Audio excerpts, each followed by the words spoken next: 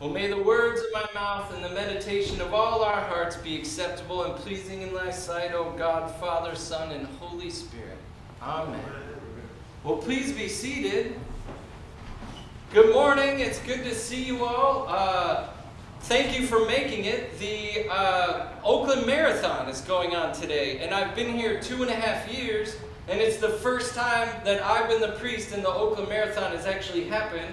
So I didn't realize that uh, people needed a heads up, so I apologize for the inconvenience. And next year we'll let people know and we'll get the word out so you can be warned. But uh, anyway, thank you for being here and dealing with that inconvenience.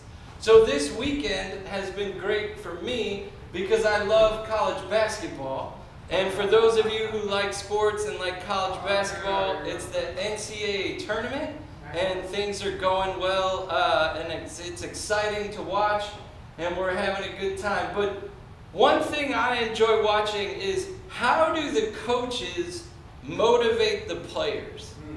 Because the coaches, kind of like all of us in life, the coaches want their players to do this, and he wants them to avoid this, right? I want you to play this way, and I want you to avoid making mistakes and playing poorly.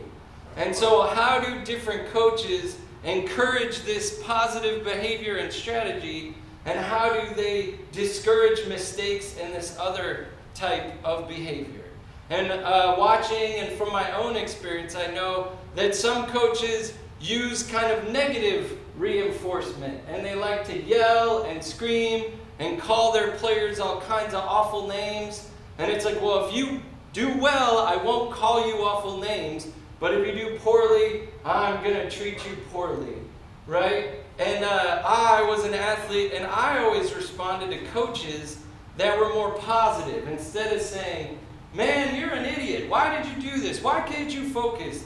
Instead of saying that, I enjoyed coaches that were like, You're so talented. You're so capable. Uh, thank you. You can do this, Jim. You got this good job, I believe in you. Like I responded to that positive reinforcement a lot better than that negative reinforcement. And uh, a few years back, I was visiting my brother and his family, and my nephew was 10 years old, and they're living in Texas.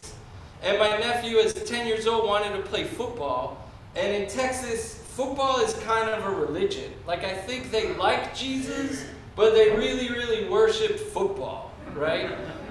And so my nephew, as a 10 year old, they would have two hour practices four nights a week.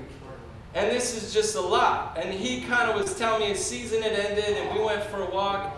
And he was telling me, like, uh, man, I don't know if I want to do this next year. And I was pointing out there's different types of coaches, and some yell and scream and call you an idiot. Some do this and that. And uh, I said, I said, you know, maybe a different sport would have a more encouraging coach. And we kind of had this back and forth, and I presented this idea, and he said, yeah, next year I think I'm going to play soccer. And I said, oh yeah, soccer coaches seem to be a little more of the encouraging type and all that.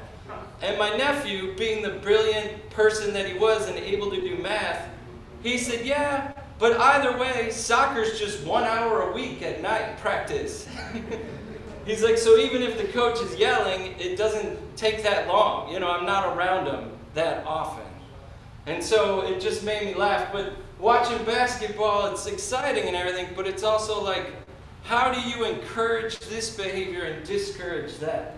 One of the more difficult ways of doing that, or one of the, I think, a negative way or a, a base way is through fines. So, like in a library, you want uh, people to turn in the book on time, and if they don't turn the book in on time, you find them. So, it's kind of this is the way of encouraging positive behavior and discouraging negative behavior. Now, in today's gospel reading, we have Jesus telling this story where the first half, Jesus is saying, Repent. And you could kind of read it as like a little stern and ominous. Like, you need to repent. Repent, repent, repent. And it's like, all right, like, stop doing bad behavior and repent. And then, but then right after that, you have this story of the fig tree that won't bear fruit, right? And the fig tree won't bear fruit. And so the owner of the fig tree in the garden wants to like cut it down and get rid of it. You're worthless fig tree, you're taking up land, and you need to get out. And instead, Jesus, uh, or not Jesus, but the gardener says to the owner of the land, he says, uh, he says, just give it one more year. Let me tend to this tree. Let me get get it, fertilize it, water it, and all that stuff. And let me let me take care of this tree. Let me give it some grace and some kindness and some love. And maybe that will uh, bring it to bear fruit this time. Right? And so uh, so you have this like two things from Jesus where he's saying like repent kind of like avoid this negative behavior but then at the same time we get this parable of grace and kindness and love and so i think it's beautiful in lent as we're all exploring and looking at our own behavior our own habits and practices and what we're doing and it's good to know like hey let's strive for excellence let's try to avoid our wayward behavior and let's notice that there's this patient gardener tending to us that loves us and cares for us and wants what's best for us. Right? And so you have these two things in hand where it's like, I want to be good, I want to avoid being wayward, and uh, when I do, God is there with love and kindness and grace. And in Paul's letter to the Romans, we didn't read it today, but in Paul's letter to the Romans, he has this great passage where he says, I want to do good, but the very thing I want to do, I don't do. And the very thing I hate doing and I don't want to do, that's the thing that I do. Oh, wretched man that I am, why can't I do right and avoid being wayward? Right? This is Paul's dilemma 2,000 years ago. And I feel like we still uh, deal with that today. And uh, so we want to hang on to these things in tension of wanting to do good, wanting to pursue God, wanting to do our best, wanting to avoid being wayward, wanting to avoid uh, slipping up. And we have this beautiful picture of God like hugging us and loving us and saying, uh, just waiting for us whenever we're wayward. When we come back, God's like, yeah, it's okay. You're here, and I got you.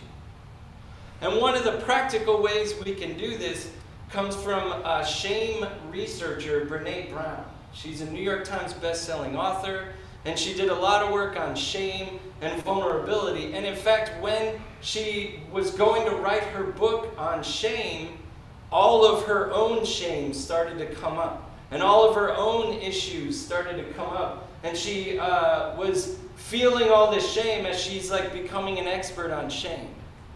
And so, writing the book, she shared vulnerably those issues that she was dealing with and talked about being vulnerable and open with your struggles and your shame is a great way to combat shame. But one of the things how she defined shame would be say you do something you shouldn't do. Shame would say, I would respond to that and say, I am an idiot. I did something wrong right? You have those voices in your head, you're like, oh, I'm stupid, I didn't, I did this wrong thing. She'd say, that's shame. And a more accurate way of phrasing it is, I did something stupid. I did something idiotic. I'm not an idiot, but I did do something idiotic. And it's a slight sort of semantic difference, but what, it's, what it signals is that ontologically I am Jim, beautiful, loved child of God. And you are as well, gifted, beautiful, loved by God. And you and I make mistakes and we're wayward. And so this has also come out lately, and instead of saying, oh, so and so has, is, we, instead of saying so and so is schizophrenic, we now say so and so has schizophrenia or someone struggles with schizophrenia. And it seems like this minor difference but it's a massive difference to me because it's saying that person ontologically is beautiful and is loved by God. And they deserve all the grace and kindness, and they struggle with schizophrenia. When you label someone as that person is schizophrenic, it's almost like, well, they're not ontologically as loved by God as we are. They're beyond whatever. They do this, they do that. You know, all of that. Whereas if you say they struggle with this, then they're still ontologically like you and me, loved, beautiful, chosen, gifted, and capable of receiving our love. So it's like this minor difference, but you can see it in the way you talk to yourself. When you make a mistake, when you do something wrong, you can say, Oh, I'm so stupid. And it's like, No, no, no, I'm not. I did something stupid, but I am loved by God. And so, in this Lenten season, as we are trying to explore our practices, and maybe you chose to do this uh, thing during Lent, and sometimes you've uh, maybe not been as good at it, or you're trying your best to do this, and occasionally you're wayward. Just know that when we turn to God, God is there like a patient gardener, tending to us and waiting for us to just come back and with a smile and like a big hug, God is like, that's okay. I still love you. You are still beloved, beautiful, and amazing. And you're not an idiot. You're not stupid. You're not this, that, or the other thing. You're a beautiful child of God. So we hold these things in tension, right? Jesus comes in and says, Repent. And it's like, that's right. I want to do better. I need to do better. And at the same time, when I'm not, when I'm wayward, when I make a mistake, the grace, the kindness, the love of God is there, always waiting to give me a hug and be like, Jim, you're loved. It's okay. Amen. Amen.